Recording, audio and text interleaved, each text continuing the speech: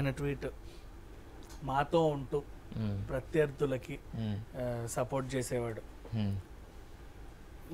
మావాడైనా? పరాయివాడే. ఓకేనా? మాతో నిలబడేవాడు పరాయివాడైనా మావాడే. ఉమ్, సో ఇది ఎలా చూడాలంటే మాతో ఉంటూ ప్రత్యర్థులకు పని చేసేవాడు. మావాడైనా పరాయివాడే. సరే మళ్ళీ మళ్ళీ చూద్దాం. బాగా గమనించండి ఈ వ్యాఖ్యల్ని. ఇప్పుడు ఇక్కడ ఏం జరిగింది నీ ప్రాబ్లం ఏంటి. అల్లు అర్జున్ ఒక అందమైన ట్వీట్ పెట్టి మామయ్య మామయ్య నువ్వంటే నాకు ఎనలేనంత ప్రేమ. నీకు ముద్దులే ముద్దులు నువ్వు గెలవాలి గెలవాలి గెలవాలి అని చెప్పేసి భజన చేసేసి ఒక ట్వీట్ పెట్టి.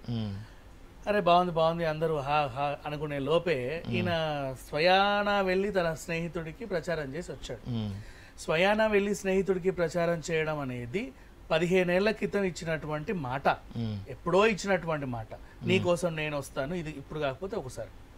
అది మాట. మాట కాబట్టి నిలబెట్టుకున్నాడు. ఇక్కడ మాట ఏమి ఇవ్వాల? ఇది ప్రేమ. ప్రేమ కాబట్టి చాటుకున్నాడు. ఇక్కడ ఒప్పందం ఏం లేదు. రైట్? సో రెండు డిఫరెంట్ డిఫరెంట్గా చూడాలి. ఇక ఇప్పుడు నువ్వు అల్లు అర్జున్ గురించి ఇంత మాట్లాడావు కదా సేమ్ ఈ ట్వీట్లో నేను చిరంజీవిని వేస్తా. ఉమ్, హ్మ్? ఇప్పుడు చిరంజీవిని వేద్దాం. ఉమ్, ఎన్ని ఆయన కూడా పిఠాపురం అంతా ఎదురు చూసింది. వస్తాడు వస్తాడు వస్తాడు అని. ఎందుకంటే గతంలో పిఠాపురంలో నీ ప్రభుత్వమే గెలిచింది. నీ ప్రభుత్వం అంటే ఇన్ సెన్స్ నీ పార్టీ. నీ పార్టీ. నీకు సంబంధించినటువంటి పార్టీయే గెలిచింది. ఓకేనా? అండ్ ఇప్పుడు ఆమె ప్రత్యర్థిగా ఉంది. నువ్వు అక్కడికి వెళ్ళాల్సిన పరిస్థితి ఉంది. నువ్వు అక్కడికి వెళ్ళి మీ తమ్ముడికి సపోర్ట్ చేస్తే ఇంకా బాగుండేది. అంటే ఇంకో విధంగా కూడా అనుకోవచ్చుగా? ప్రజారాజ్యం పార్టీ తరఫున గెలిచినటువంటి వంగాగీత గారిని అప్పుడేమో గెలిపిమని అడిగారు. అదే పర్సన్ ఈ రోజు ఓడిపోయమని చెప్పి అడుగుతున్నారు కాబట్టి కొద్దిగా కాంట్రవర్సీ అయ్యే అవకాశం కూడా ఉందిగా? ఉంది అవకాశం ఉంది. ఇంకోటి కాపు ఓట్లు కూడా. తను కాపే ఇతను కాపే మళ్ళీ కాపు ఓట్లు కూడా భిన్నంగా ఆలోచించే అవకాశం ఉంది. సో నీకు రీజన్ ఉంది అవును. రీజన్ ఉంది వెళ్ళకపోవడానికి అంతే. మరి ఇప్పుడు ప్రత్యర్థులకి సపోర్ట్ చేసే అని రెండో లైన్ ఉంది చూసావా? మొదటి లైన్ ప్రత్యర్థులకి కోసం పని చేసేవాడు అని. ఇప్పుడు చిరంజీవి ఏమన్నాడంటే అదే డేట్ ఏ డేట్ అయితే వీడియో రిలీజ్ చేశాడో జస్ట్ కొన్ని గంటల వ్యవధిలోనే ఎన్టీఆర్ గారికి భారతరత్న ఇవ్వాలి అని స్టేట్మెంట్ ఇచ్చాడు. ఇప్పుడు దీన్ని ఎలా చూడాలి? అంటే టీడీపీ పార్టీ స్థాపించినటువంటి వ్యక్తికి నువ్వు రాష్ట్ర భారతరత్న ఇవ్వాలి అన్నావు. నువ్వు పరోక్షంగా నీ ప్రత్యర్థులకు సపోర్ట్ చేసినట్టే కదా? ప్రత్యర్థులు కాదుగా ఇప్పుడు కూటమిలో సభ్యులేగా? whatever చెప్తున్నా. అది వేరే పార్టీ. సపోర్ట్ చేసినట్టే ఎన్టీఆర్కి భారతరత్న రావాలి అని. అన్నావు. ఒకప్పుడు నువ్వు ప్రజారాజ్యం పార్టీలో ఉండి ఎవరెవరిని తిట్టావు ఏమేం చేసావు అదే. ఏ చంద్రబాబుని ఏమన్నావు? ఏ- కాంగ్రెస్ అంటే ఒకటి విజ్ఞాన్ గారు అది అందరూ అనే మాటే. రాజకీయాల్లో శాశ్వత శత్రులు కానీ శాశ్వత మిత్రులు కానీ ఉండరు అంటారు కదా. రాజకీయంలోనే మిత్రులు శత్రువులు లేనప్పుడు ఫ్యామిలీలో ఎందుకు అయ్యా నీకు గొడవలు? ఎంత కాదన్నా నీ ఫ్యామిలీయే కదా. మీ బ్లడ్ రిలేషనే కదా. ఏ కోసాను. అవును. ఆ? రాజకీయాల్లోనే నువ్వు అంత ఫ్రీగా ఫ్రెండ్లీగా చూసి అంటే ఎన్ని అవమానాలు ఇచ్చినా ఎంతమంది ఎన్ని బూతులు తిట్టుకున్నా మళ్ళీ తెల్లారు లేసే అని కౌగలించుకుంటున్నావు. అవునా? నేను చిన్నప్పటి నుంచి ఏమైనా బూతులు తిట్టాడా? నిన్నేమైనా అన్నాడా? నీ గురించి ఎక్కడైనా తప్పు చెప్పాడా? నీ గురించి అసలు ఏ చేయడానికి ఓటేయొద్దని అన్నాడా? అసలు మా ఫ్యామిలీ కాదన్నాడా? వాళ్ళ ఫ్యామిలీకి నాకు సంబంధం లేదన్నాడా? ఏమన్నాడు? ఏమి ఉమ్, నువ్వు అన్స్టాపబుల్ షోకి ఎందుకు వెళ్ళావు? అల్లు అరవింద్ గారి మీద గౌరవంతో వెళ్ళావు. అవును. అవునా? అవును. వాళ్ళ అబ్బాయే కదా బన్నీ నిన్నేమంటున్నాడు? నిన్నేమన్నా ఇంకేమన్నా హింస పెడుతున్నాడా? లేదే అక్క ఆయన స్నేహితుడి దగ్గరికి వెళ్తే నీకేంటి ప్రాబ్లం అంటే నీకోసం రాలేదు అక్కడికి వెళ్ళాడు అని. నీకోసం రాలేదు అంటే మీకు చిరంజీవి గారు రాలేదంటే ఒక రీజన్ ఉంది. అల్లు అర్జున్ రాలేదంటే రీజన్ లేదా? ఇక్కడ ఎందుకు రాలేదని లేక అక్కడికి ఎందుకు వెళ్ళావు అక్కడికి ఎందుకు వెళ్ళావు? అదే అది నువ్వెవరు అడగడానికి అక్కడికి ఎందుకు వెళ్ళావని? ఉమ్, who the hell are you నువ్వెవరు అడగడానికి? ఎందుకు వెళ్ళకూడదు. ఆయన ఆయన స్నేహితుడు ఇంకో పార్టీలో ఉంటే కటిఫ్ చెప్పేయాలా? ఇంకా మొహం మొహం చూడొద్దా?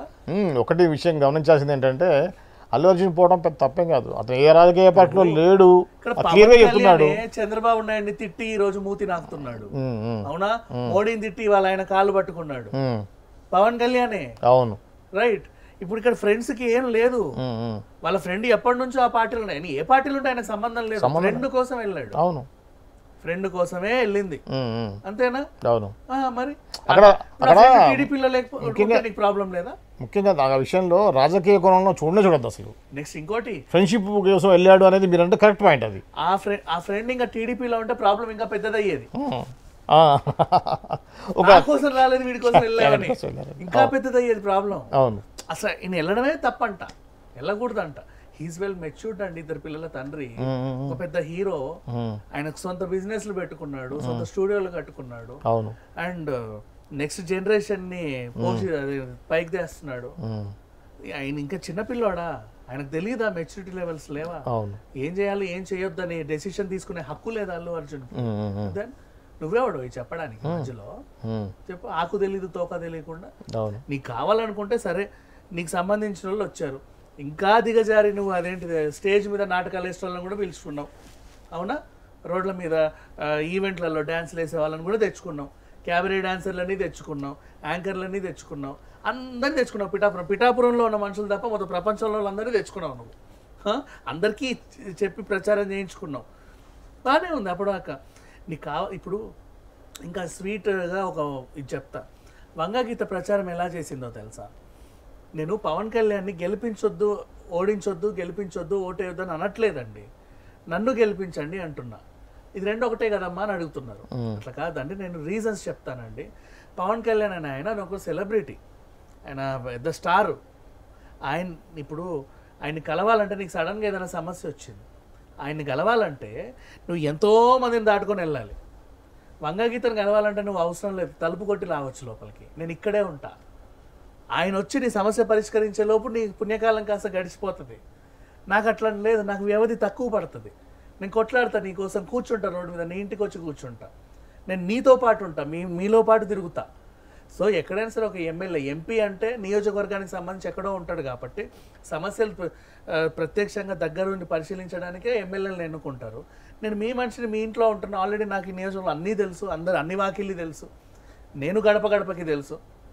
అప్పుడు నేను బెటరా? మీకు ఎక్కడి నుంచో ఎవరో వచ్చే వాళ్ళు బెటరా ఇంకా కావాలంటే ట్రంప్ వచ్చి నిలబడ్డా ట్రంప్ కూడా ఉమ్, మీకు ఏమైనా చేస్తాడంటే? ఇప్పుడు యుఎస్ ట్రంప్ కూడా వచ్చి ఇక్కడ నామినేషన్ వేసి ఎలక్షన్లో పోటీ చేసి పోవచ్చు.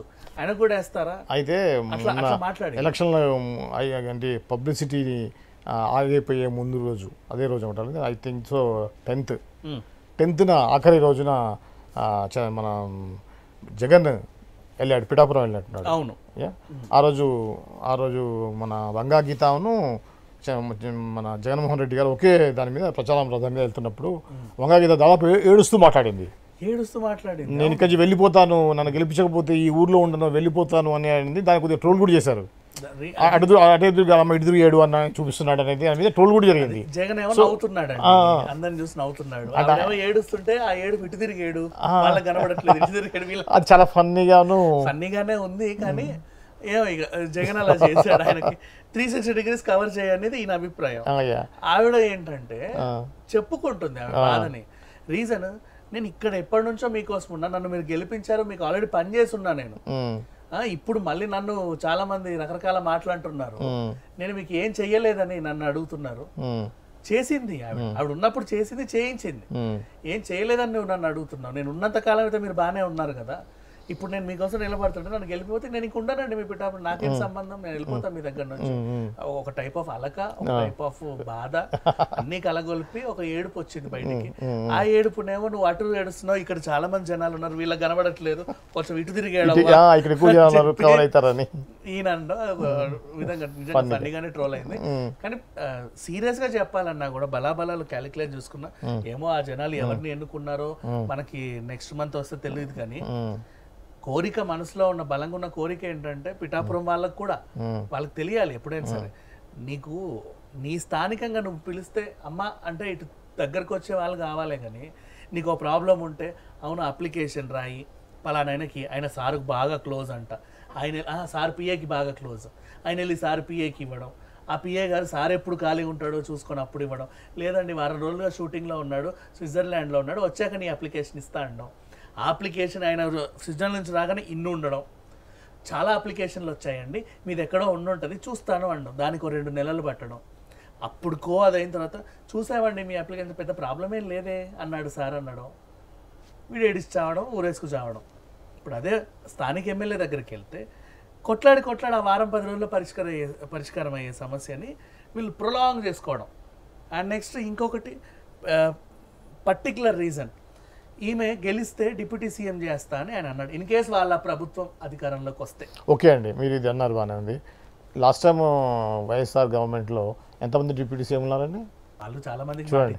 అయ్యా ఐదుగురు డిప్యూటీ సీఎం ఉన్నారు. ఓకే వాళ్ళ పేర్లు కూడా తెలియదండి. రోజా కొడాలి నాని ఆ, అనిల్ కుమార్ యాదవ్ ఇలా బాగా నోరేసుకొని పవన్ కళ్యాణ్ని చంద్రబాబు నాయుడిని తిట్టే వాళ్ళు తప్పించి డిప్యూటీ సీఎం ఎవరు తెలియదు అసలు వైఎస్ఆర్ ఆంధ్రప్రదేశ్లో ఆంధ్రప్రదేశ్ గవర్నమెంట్లో డిప్యూటీ సీఎంలకు విలువే లేదు. విలువ లేదు. అంటే కానీ కాకపోతే ఆ సామాజిక వర్గానికి మేమంటూ ఒక మర్యాద ఇస్తున్నామని ఒకటి ఉంది కదా. ఆల్రెడీ ఉన్నారు డిప్యూటీ సీఎం ఉన్నారు కాపులు. అట్లా అట్లా అట్లా చెప్పుకొచ్చాడు అది పెద్ద వర్కౌట్ కాదండి. వైసీపీకి పెద్ద వర్కౌట్ అయ్యేది వర్కౌట్ అవ్వదు. సో ఆమెకు చెప్పాడు ఒక హామీ అయితే ఇచ్చాడు. నేను ఇట్లా చేస్తానండి మిమ్మల్ని అలా చేస్తానండి ఇకపోతే ఇక పవన్ కళ్యాణ్ విషయానికి వస్తే ఈయన ఇప్పుడు ఆమె ఆమె ఎమ్మెల్యేగా ఉన్నా కొంచెం ఆమెకు ఒక పావుల ఎత్తు స్థాయి పెరిగినా పెరగపోయినా అక్కడే ఉంటది. ఏదో ఒక బేడెత్తు ఉమ్, ఉమ్, ఇక్కడ ఈయన ఏం చేశాడు? ఆల్రెడీ ఐదు సంవత్సరాలు ఫుల్ ప్యాక్డ్ ఈయన మళ్ళీ ఎప్పుడు వస్తాడు? మళ్ళీ ఎలక్షన్కి వస్తాడు పిఠాపురానికి. ఉమ్. అప్పటి వరకు టైట్ షెడ్యూల్. మధ్యలో ఎప్పుడన్నా వస్తే పిఠాపురం పుణ్యం చేసుకున్నట్టు. అంటే ఎప్పుడు వస్తారు రావాలి కదా కొంప ఒకటి తీసుకున్నాడు. దానికి రెంట్ కట్టాలి. లేకపోతే తీసుకున్న పాపనికి అందులో ఒక రోజన్నా చేయగడగాలి ఉమ్, ఉమ్, నలుగురితో మాట్లాడాలి. అప్పుడప్పుడు వస్తాడు. ఈ చుట్టపు చూపుకు వచ్చే ఎమ్మెల్యే మీకు ఎందుకు. మీకు దగ్గర చుట్టాని నేనున్నాను కదా అని చెప్పి ఈవిడ మాట్లాడుతుంది. సో ఇట్లా చూసుకుంటే క్యాల్కులేషన్స్లో ఈవిడ కొంచెం బానే ఉంది. ఏ పిఠాపురం అంటే ఇది ఇంకా మళ్ళీ దీన్ని ఏదో తీసుకున్న ఒకప్పుడు మా ఎలక్షన్స్ రేంజ్లో అయ్యిందండి. ఒక నియోజకవర్గం మహా అయితే అవును. మల్కాజ్గిరి అంత పెద్ద నియోజకవర్గం కూడా కాదు. అదే అదే. పార్టీ అధ్యక్షుడు కదా. ఒక నియోజకవర్గం. అదే. కానీ ఆ- రేంజ్లో. ఇప్పుడు సరే ఏదేమైనప్పటికీ మొత్తానికైతే నాగబాబు విషయానికి వస్తే. ఆయన చేసిన ట్వీట్ బన్నీని ఏమన్నాడో ఇది మాత్రం నిజంగా చాలా తప్పు. ఎందుకంటే నువ్వు రాజకీయాల్లోనే నిన్నగాక మొన్న చీ తూ పో అన్నోడివే వెళ్ళి కాళ్ళు గడికి నెత్తించాలనుకుంటున్నావు. నీ ఇంట్లో నీ మనిషి సొంత రిలేషన్ ఉన్న మనిషి నువ్వు అర్థం చేసుకోలేకపోతున్నావు. బయటోడు ఎవడో అర్థమైనట్టు కూడా నీకు సొంత మనిషి అర్థం కావట్లేదు అంటే నువ్వే స్థాయిలో ఉన్నావో తెలుసుకో ఇక్కడ బన్నీ స్థాయి ఏం పడిపోలా బన్నీకి ఏం ప్రాబ్లం లా? నువ్వు సొంత మనిషిని సొంత మనిషిలా చూడలేకపోతున్నావు అంటే నీలో ఉంది ప్రాబ్లం. అది ఇలాంటి వాటి వల్ల ఇప్పుడు నాగబాబు ఇలా స్పందించడం వల్ల ఫ్యామిలీలో లుకలకలు ఉన్నాయనేది అనవసరంగా బయట ట్రోల్ చేసే వాళ్ళకి ఒక అవకాశం ఇచ్చినట్టుగా అంటే ఇప్పుడు నీకు ఆ జబర్దస్త్ వాళ్ళ కంటే కూడా బన్నీ తక్కువ. అంతేగా? అంటే ఆడు నీ కోసం వచ్చాడు కాబట్టి ఆడు నీ వాడు నీ ట్వీట్ ప్రకారంగా. ఉమ్, ఉమ్. నీ కోసం వచ్చాడు కాబట్టి నీ వాడు అది అతని వ్యక్తిగతం అని చెప్పేసి ఒక మాట ఉంటే ఎంత హుందాగా ఉండేది? చాలా చక్కగా ఉండేది. అది బన్నీ వ్యక్తిగతం అండి. అంతే. అవును. చిరంజీవి రాలేదంటే నీకు రీజన్ ఉంది. బండి వెళ్ళాడంటే నీకు రీజన్ లేదా? కదా అసలు అది కూడా ఎలక్షన్స్ అయిపోయిన తర్వాత హుందాగా బన్నీ చాలా మంచి వ్యక్తి పవన్ కళ్యాణ్ గెలుపును కోరుకున్నాడు అదేవిధంగా మిత్రుడు కూడా గెలవాలని కోరుకున్నాడు. అందులో తప్పే ఉంది. అతని వ్యక్తిగతం అది. ఏ పార్టీలో లేడు. మా కుటుంబ సభ్యుడైనప్పుడు కూడా ఏ పార్టీలో లేడు అని చెప్పి అనొచ్చు కదా హుందాగా? మహామహులే కలుస్తారు. ఇప్పుడు తారక రత్న చనిపోయినప్పుడు విజయసాయి రెడ్డి చంద్రబాబు నాయుడు మాట్లాడుకుంటే ఎన్ని అన్నారు అవును. కానీ తర్వాత మళ్ళీ ఎవరు వాళ్ళు సపరేట్ అని తెలుసు కదా. అవును. కాకపోతే అక్కడ రావాల్సిన సిచ్యువేషన్ కాబట్టి ఉమ్. అంతెందుకు? సొంత ఇంట్లోనే కొంపటి. వైఎస్ఆర్ గారు చనిపోతే షర్మిల జగన్. అవును. మళ్ళీ వాళ్ళు వాళ్ళు సపరేట్.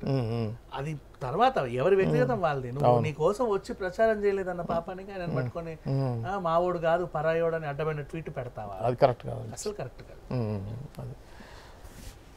ఇది అండి నాగాబాబు అల్లు అర్జున్ మీద స్పందించిన తీరు మీద దాసరి విజ్ఞాన్ గారి యొక్క అభిప్రాయము. సో ఇంకో విషయంతో మళ్ళీ కలుద్దాం. అంతవరకు చూస్తూనే ఉండండి మాస్టర్ కీ టీవీ.